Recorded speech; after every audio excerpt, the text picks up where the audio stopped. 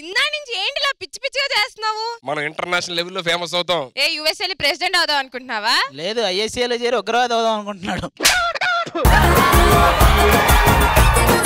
ఇలాగే అంటూ ఉండండి. ప్రభాస్ గారి లాగే మన ఫోటో కూడా ప్రతి స్టేట్లో ఆటో వెనకాతలు ఉంటది. అవునవును ప్రతి ఆటో వెనకాల మామూలుగా రాస్తారు. నన్ను చూసి ఆడవకని ఈయన ఫోటో వేసాక ఈయన చూసి ఆడవకని అని రాస్తాడు.